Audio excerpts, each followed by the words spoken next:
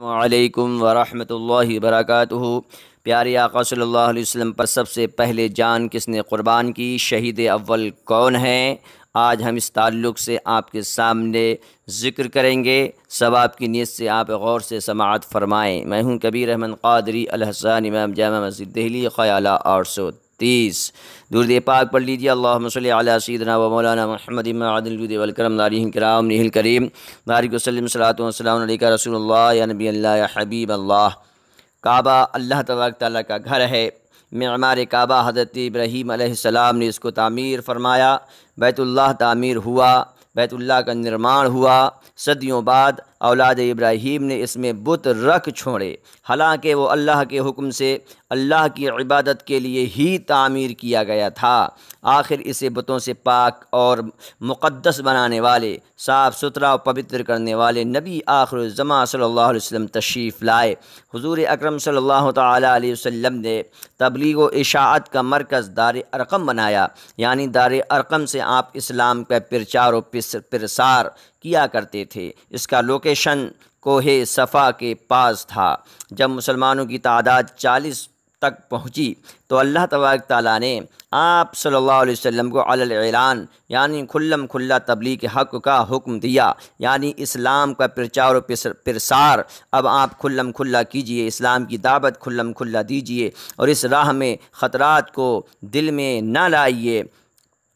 آپ صلی اللہ تعالیٰ علیہ وسلم کعبۃ اللہ میں داخل ہوئے اور برملا توحید کا اعلان کیا کہ اللہ ایک ہے، اس کے علاوہ کوئی عبادت کے لائق نہیں ہے اور میں اللہ کا رسول ہوں۔ اللہ تبارک تعالیٰ کی بہدانیت کا پیغام سنایا تو حرم کعبہ میں موجود کفار برہم ہو گئے، آگ بگولا ہو گئے اور وہ آپ سے بہت زیادہ ناراض ہو گئے اور پیارے آقا صلی اللہ علیہ وسلم کو چاروں طرف سے گھیر لیا اور صدائیں بلند ہوئیں، آوازیں اٹھنے لگیں، توہین، پکڑو، بچ کر نہ جائیں، صرف اسی پر اکتفا نہ کیا بلکہ باقاعدہ ان کی طرف، پیاری آقا صلی اللہ تعالیٰ علیہ وسلم کی طرف ان کے ہاتھ بڑھنے لگے۔ حرم کعبہ کے پاس ہی وہ مبارک و پوتر گھر بھی تھا، جو حضرت خدیت القبرہ رضی اللہ تعالیٰ عنہ کی ملکیت تھا۔ خدیت القبرہ یہ کون ہیں؟ یہ پیارے آقا صلی اللہ تعالیٰ علیہ وسلم کی پہلی بیوی ہیں۔ جب پیارے آقا صلی اللہ علیہ وسلم کا ان سے نکاح ہوا، تو ان کی عمر چالیس سال تھی، چالیس برس، اور ہمارے پیارے آقا صلی اللہ علیہ وسلم کی عمر اس وقت پچیس سال تھی۔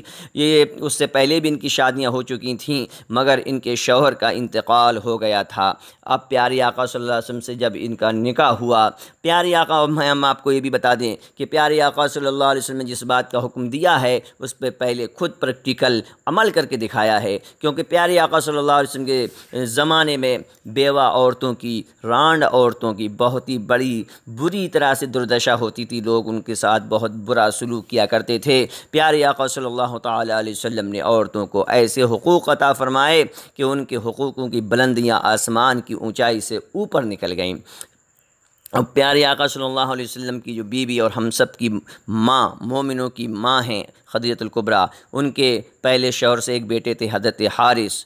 جب یہ آواز سنی کہ آواز آ رہی ہے، گھیرو، پکڑو، بچ کر نہ جائیں۔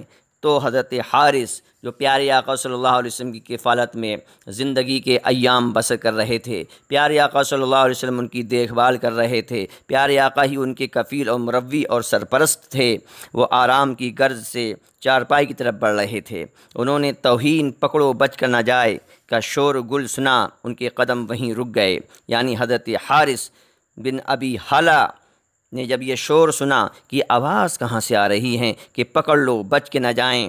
انہوں نے جب کان لگائے تو ایک لخت ان کے دماغ میں یہ خیال آیا کہ ابھی ابھی پیارے مصطفیٰ صلی اللہ علیہ وسلم کعبہ شریف کی طرف کو جاتے ہوئے میں نے دیکھا ہے۔ فوراً سوچا کہیں حضور اکرم صلی اللہ تعالیٰ علیہ وسلم تو کفار کے نرغے میں نہیں ہیں۔ کہیں پیارے آقا صلی اللہ علیہ وسلم کو کفار پریشان تو نہیں کر رہے ہیں۔ بڑھتے قدم واپس مڑے اور جانب کعبہ دوڑ لگا دی جس میں بجلیاں بھر گئیں۔ خانہ کعبہ میں داخل ہوئے تو دیکھا، ہادی برحق صلی اللہ علیہ وسلم کو کفار نے گھیر رکھا ہے۔ تلواریں لہرا رہی ہیں۔ محبوب خدا صلی اللہ علیہ وسلم کو تکلیف پہنچانا چاہتے ہیں۔ پیارے آقا صلی اللہ علیہ وسلم کو ایزا پہنچانے پہ تلے ہوئے ہیں۔ اور ہر آن آپ صلی اللہ علیہ وسلم کی زندگی کو خطرہ لاحق ہے۔ جب یہ منظر حارث کی آنکھوں کے سامنے آیا تو ہجوم کو چیرتے ہوئے اپنے مروی، اپنے محسن، اپنے کرپالو، اپنے دیالو، اپنے سرپرست، اپنے محبوب کے قریب پہنچ گئے اور چلائے ٹھہرو۔ کفار تو پہلے ہی سے مشتعل تھے، اتجت تھے، پہلے ہی سے بھڑکے ہوئے تھے۔ وہ حضرت حارث پر پل پڑے، چاروں طرف سے تلواریں چلیں اور حضرت حارث کے جسم میں پیوست ہو گئیں۔ اور دیکھتے ہی دیکھتے حارث زمین پر گرے اور کعبے کے صحن میں، کعبے کے آنگن میں، خون میں لت پت ہو گئے، خون سے رنگین ہو گئے۔ حارث اپنی جان اپنے محبوب پر وار گئے۔ آپ صلی اللہ علیہ وسلم کے قدموں میں جان دے دی۔ اس پر آپ نے بحکم خدا بندی اعلان فرمایا کہ حارث، پیارے آقا صلی اللہ علیہ وسلم کی زبان سے یہ اعلان ہوا کہ حارث شہید اول ہیں، جس کی روح بغیر حساب و کتاب کے جنت فردوس میں پہنچی ہے۔ کسی نے کیا خوب کہا ہے؟ تیری چوکھٹ پہ سر ہو اور تارے زندگی ٹوٹے، تیری چوکٹ پہ سر ہو اور تارے زندگی ٹوٹے۔ یہی انجام الفت ہے، یہی مرنے کا حاصل ہے۔ اور علامہ حسن رضا علیہ رحمہ، اعلیٰ حضرت عظیم البرکت کہ بھائی جان کیا ہی خوب انداز میں ذکر کرتے ہیں۔ گر وقت جل سر تیری چوکھٹ پہ دھرا ہو۔ گر وقت اجل سر تیری چوکھٹ پہ دھرا ہو۔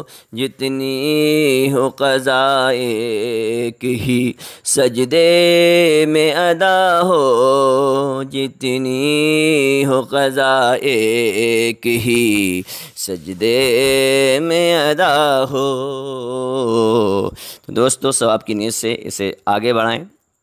زیادہ سے زیادہ ہمارے چینل کبیر احمد قادری کو آپ سبسکرائب فرمائیں، بیل آئکن کو دبا دیں۔ السلام علیکم ورحمۃ اللہ وبرکاتہ۔